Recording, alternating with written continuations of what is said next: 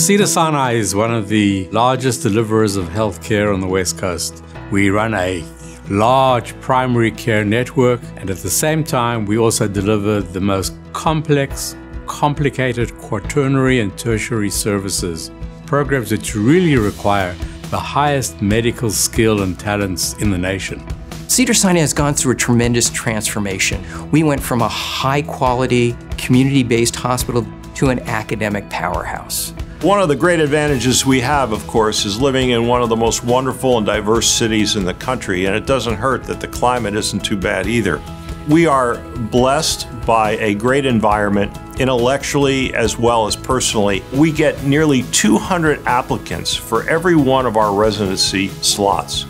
And that allows us to have the very brightest trainees who make our chances for continuing to push things forward and innovate even greater literally each day I wake up and I'm excited to come to work because I feel like each day I'm really building towards my skill set and I'm developing my skills and knowledge as a urologist. Each day when I come home, I feel really content and satisfied with how that day went. Having been here for three years now, I am blown away by the surgical volume that we have. I am endlessly impressed by the camaraderie that I have with the other residents and the support offered by the attendings. Cedar Sinai is first and foremost a surgical training program.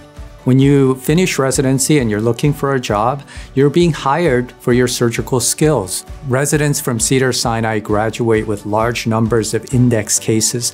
They're in the top 90th percentile in every category. Our residents work very closely with our faculty from day one. And they get exposed to leaders in multiple disciplines, and they really get a chance to work hands on, one on one with some of the most important influences in their career you always kind of hit the rumor that Cedars is the hospital for the celebrities, but really you see every type of patient from every walk of life here. I think to be able to see so many different patients from so many different cultures has really impacted the way that I'm going to practice medicine in the future. Something that I think makes Cedars unique is its Prividemics model. And so we work with the faculty at Cedars and then also a large private group. So we get exposure to what both of those lifestyles are like. From the beginning, your urology attendings, the chair knows your name, everyone knows who you are. I can't imagine being anywhere besides Cedars. This program has met my expectations and exceeded them in pretty much every way. I think the really nice thing is, you know, there's not really much of a hierarchy or tradition here. I think all the residents get along really well with each other, and importantly, all the residents get along really well with the attendings too. You're never afraid to call anyone or talk to anyone at any time of the day or night. And I think we all kind of put the patients first, and you know, there's a lot of respect between residents, between faculty, and just a good environment to train in.